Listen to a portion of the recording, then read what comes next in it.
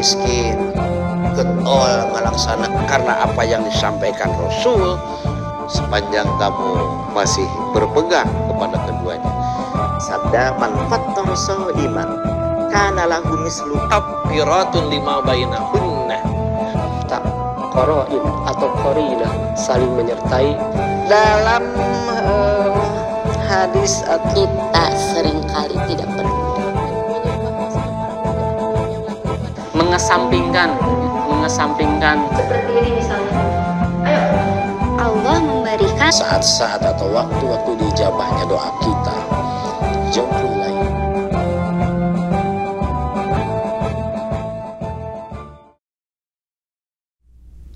Alhamdulillah wa syukrulillah la haula wa la quwata illa billah. Ashhadu an la ilaha illallah wahdahu la syarikalah wa ashhadu anna muhammadan abduhu wa rasuluh amma ba'du. Faqala Allah ta'ala fil Qur'anil Karim A'udzu billahi minasyaitonir rajim. Laisa 'alaika hudahum walakinnallaha yahdi may yasha. Quran surat Al-Baqarah ayat 272 Segala puji milik Allah yang telah memberikan berbagai macam nikmatnya kepada kita terutama nikmat iman dan Islam sehingga dalam kesempatan ini kita dimudahkan oleh Allah untuk melakukan ibadah kepadanya. Insya Allah di sini akan membahas tentang hidayah. Di dalam Allah memerintahkan kita sholat lima waktu yang mana totalnya itu ada 17 rokaat. Ternyata sholat itu artinya doa dan ternyata di dalam sholat itu ada satu surat yang kita baca minimalnya 17 kali yang wajib. Surat itu adalah Al-Fatihah dan para ulama sepakat la solata liman lam yakro bi fatihatil kitab tidak sah solat bagi orang yang tidak membaca al-fatihah. Jadi sekali lagi solat itu artinya doa. Yang jadi pertanyaan apa yang kita minta di dalam solat kita? Ternyata kalau kita analisis Quran surat Al-Fatihah yang kita baca dalam solat ternyata Al-Fatihah itu totalnya ada tujuh ayat semuanya isinya pujian dan ternyata doanya dan permintaannya hanya satu. Kita bahas ayat yang pertama Bismillahirrohmanirrohim dengan menyebut nama Allah yang maha pengasih lagi maha penyayang isinya pujian Alhamdulillahirobbil alamin Segala puji milik Allah Rabb semesta alam isinya pujian. Ar-Rahmanir Rahim yang maha pengasih lagi maha penyayang isinya pujian. Maliki Yaumiddin yang merajai hari pembalasan isinya pujian. Iya karena budu wa karena stain hanya kepadamu kami beribadah dan hanya kepadamu kami memohon pertolongan. Itu pun ujian. Baru di ayat selanjutnya satu permintaan. Apa permintaannya? Ihdinas siratal mustaqim. Ya Rob ya Allah bimbing kami agar kami bimbing kami dengan hidayahmu agar kami berada di jalan yang lurus apa jalan yang lurus itu? Alladzi an'amta alaihim jalan orang-orang yang telah engkau beri nikmat ghairil maghdubi alaihim waladdallin. Bukan jalan orang-orang yang engkau sesatkan dan engkau murkai. Jadi ternyata sholat kita yang artinya doa yang kita mohon sama Allah itu adalah hidayah. Timbul pertanyaan Sudahkah kita mendapatkan hidayah? Kadang-kadang ada orang yang mengatakan, "Maaf, saya belum bisa sholat karena belum dapat hidayah." Maaf, saya belum bisa menutup aurat karena saya belum dapat hidayah. Maaf, saya masih suka berbuat dosa karena saya belum dapat hidayah. Seakan-akan kejelekan-kejelekan kita, dosa-dosa kita itu disandarkan kepada Allah Subhanahu wa taala. Padahal di dalam tafsir Al-Marogi Allah telah memberikan hidayah kepada manusia dengan lima hidayah. Apa? Yang pertama ada adalah hidayatul ilham. Hidayah ilham ini diberikan kepada anak kecil atau bayi Ketika bayi merasakan lapar, merasakan haus, maka bayi itu akan menangis. Maka tangisannya adalah petunjuk bahwa dia sedang lapar, bahwa dia sedang tidak nyaman. Itu hidayah ilham. Yang kedua adalah hidayah al-hawas, hidayah hawas, yaitu panca indera. Ya, panca indera yang Allah berikan fungsinya adalah agar kita mendapatkan petunjuk. Yang selanjutnya adalah hidayatul akal, akal. Akal itu digunakan untuk berpikir. Akal itu digunakan untuk berpikir agar kita mendapat petunjuk. Contoh, Nabi Ibrahim alaihissalam ketika beliau menghancurkan tempat ibadah Namrus, menghancurkan patung-patungnya dan ketika patung-patungnya semuanya hancur satu yang ia sisakan yaitu patung yang paling besar.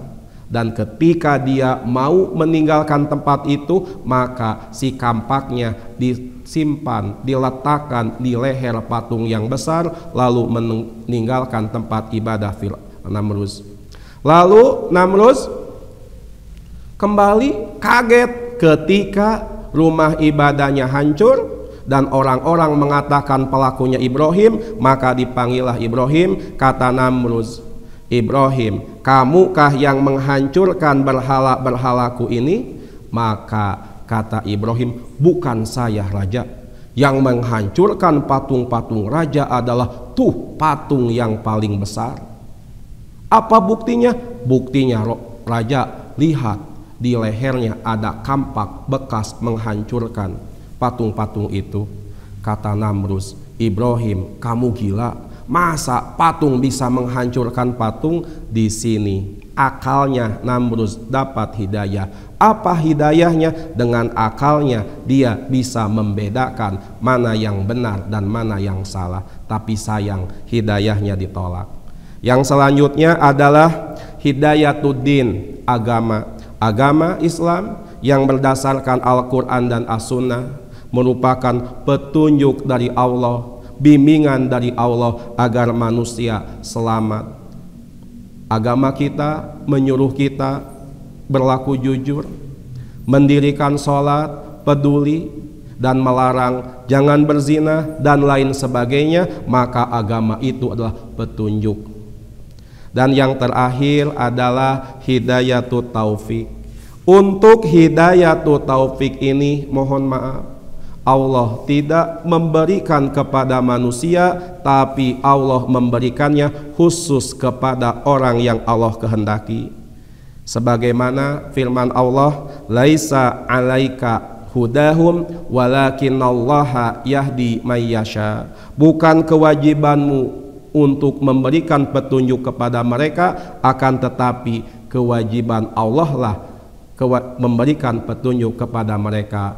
Hidayah taufik khusus Allah berikan. Makanya kenapa di dalam sholat kita mengucapkan ihdinas siratal mustaqim? Kita berdoa ya Allah Berikanlah kami, bimbinglah kami dengan hidayahmu agar berada di jalan yang lurus. Ternyata yang kita minta ihdina siratal mustaqim itu adalah hidayatut taufik. Apa hidayatut taufik? Kemampuan kita untuk merealisasikan semua perintah Allah dan menjauhi larangan Allah yang sering kita sebut dengan amal soleh.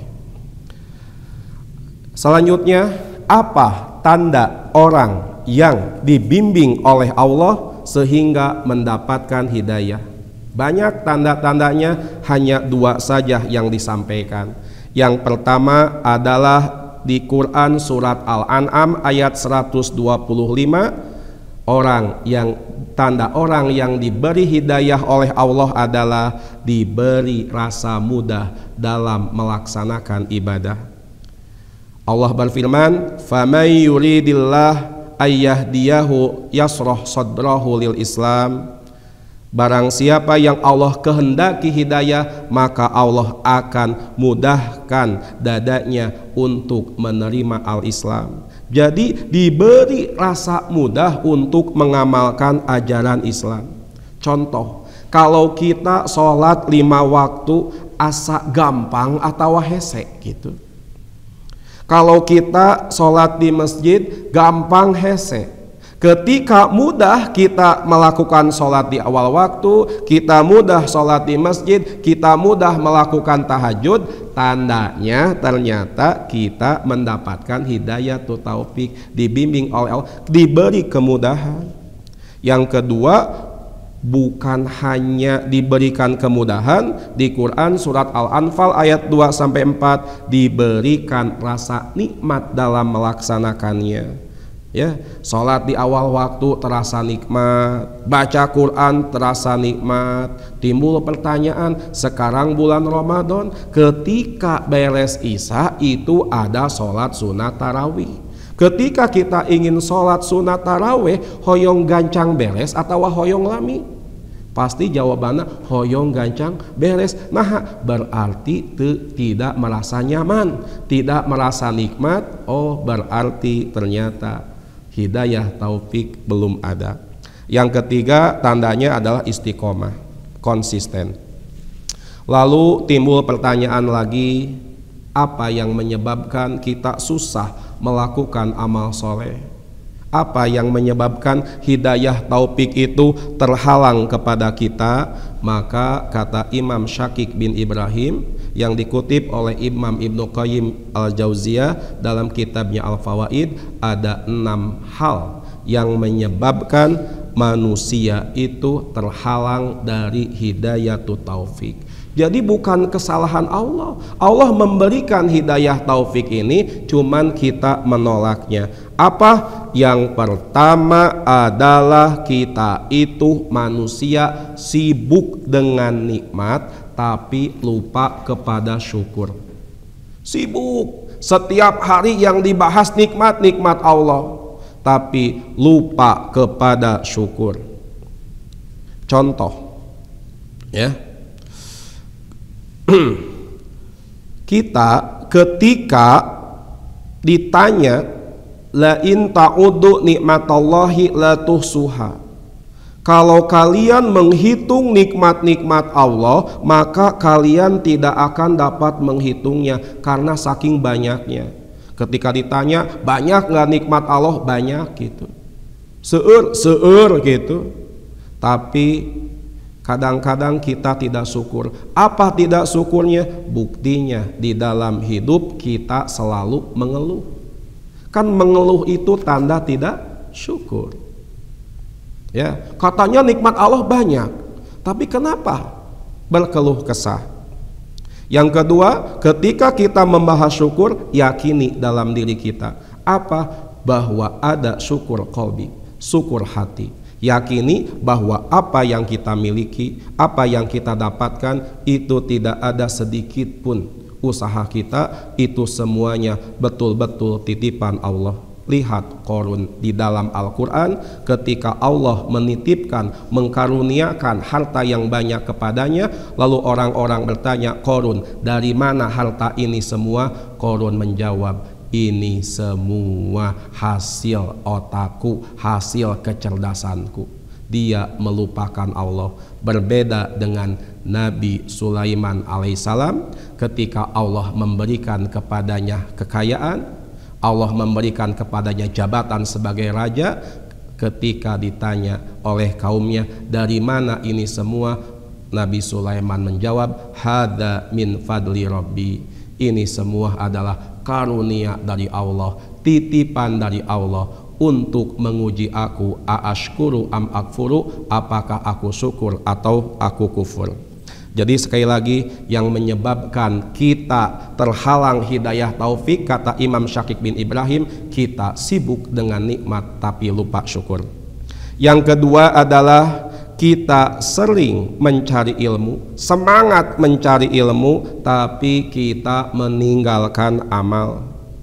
Kadang-kadang kita belajar tujuannya selalu dunia, ingin disebut ahli ilmu, ingin disebut cendikiawan, dan lain sebagainya. Padahal ketika kita belajar, ketika kita mencari ilmu, ketika kita ngaji, niatkan apa niatnya? Ingin mendapatkan ridho Allah. Kenapa belajar? Kenapa ngaji? Ingin dapat ridho Allah agar saya dapat ilmu. Mudah-mudahan dengan ilmu itu saya bisa bertambah amal solehnya dan saya bisa memperbaiki diri saya.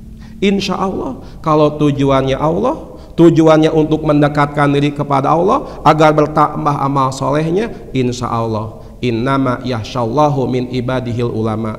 Sesungguhnya orang yang paling takut di kalangan hamba-hambaku adalah orang yang berilmu. Makanya orang yang takut kepada Allah itu orang yang berilmu ilmunya melahirkan rasa takut.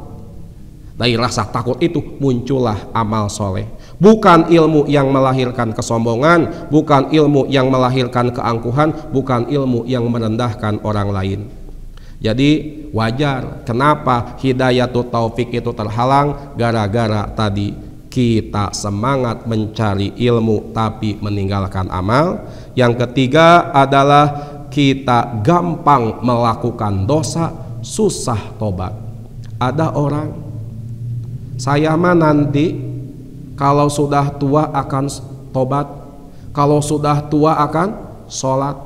Nanti kalau udah tua saya akan baik. Ketika seseorang menunda-nunda kebaikan, artinya mustahil hidayah taufik itu akan Allah berikan kepada dia. Yang namanya dosa itu enggak terasa. Jangankan di luar masjid, di masjid aja pidosaun mah banyak ya. Buka HP, buka WA, pidosaun pasti selalu kadang-kadang tidak sadar kita menyebarkan berita hoax atau kadang-kadang kita gibah di dalamnya dan lain sebagainya. Maka robah agar hidayah itu topik kita dapatkan robah. Ganti bukan gampang melakukan dosa tapi gampang tobat tapi susah melakukan dosa. Yang keempat kata Imam Syakik bin Ibrahim adalah kenapa hidayah itu topik itu terhalang? Kita tertipu bersahabat dengan orang yang soleh. Maksudnya kita bangga punya sahabat soleh.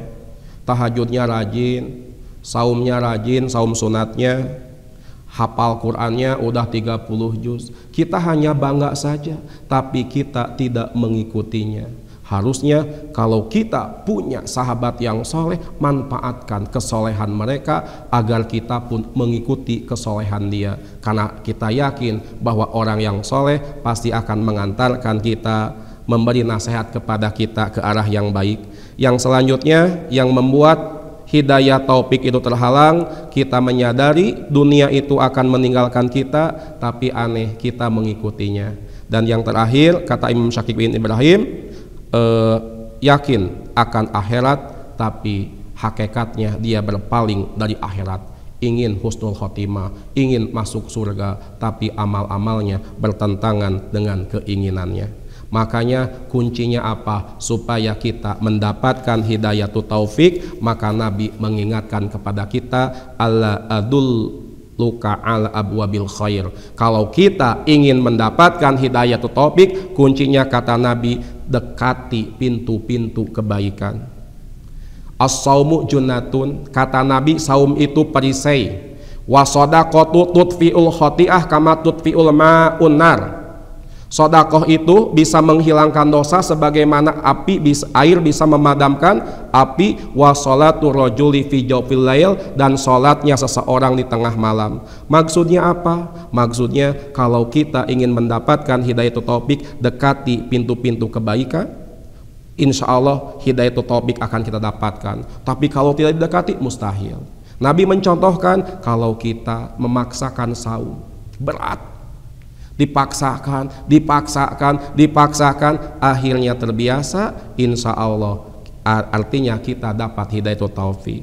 Kalau kita memaksakan sodakoh awalnya berat, tapi karena terbiasa jadi enteng, artinya kita mendapatkan hidayah taufik. Sholat malam berat, akhirnya kita paksakan sehingga kita rutin jadi terbiasa. Ketika jadi terbiasa jadi enteng artinya kita dapat hidayah taufik karena tadi dibahas bahwa yang akan mendap tanda orang yang mendapatkan hidayah taufik dimudahkan dan diberikan kenikmatan dalam melaksanakan ajaran Islam. Itu saja yang bisa saya sampaikan. Mudah-mudahan ada guna dan manfaatnya. Sekali lagi Sholat itu artinya doa dan di dalam sholat ternyata yang kita pinta itu adalah hidayatut taufik meminta kepada Allah agar Allah membimbing kita agar berada di jalan yang lurus yaitu jalan orang-orang yang telah engkau beri nikmat. Itu saja mudah-mudahan ada guna dan manfaatnya. Dipungkas dengan doa Rabbana zolamna anfusana wa in lam tagfir lana wa tarhamna lanakunanna minal khasirin Rabbana atina fid dunya hasanah wa fil akhirati hasanah wa qina adzabannar. Rabbana taqabbal minna innaka antas samiul alim. Aqulu qawli hadza wa astaghfirullah li wa lakum. Wassalamu alaikum warahmatullahi wabarakatuh